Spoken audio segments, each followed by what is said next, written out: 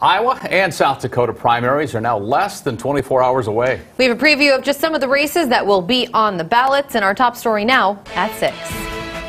On the federal level, a couple of races to watch out for include Sioux City Attorney Jim Carlin looking to unseat longtime Republican incumbent Senator Chuck Grassley, who was first elected back in 1981. For Democrats, Abby Finkenauer, Michael Franken, and Glenn Hurst all vying to be the Democratic nominee in that U.S. Senate race. A few other races to watch include Todd Halbur and Mary Ann Hanuska uh, Hanusa, I should say, for the opportunity to challenge incumbent state auditor Rob Sand in November, while Joel Miller and Aaron Van Lack- Lancker are looking to take down incumbent Secretary of State Paul Pate.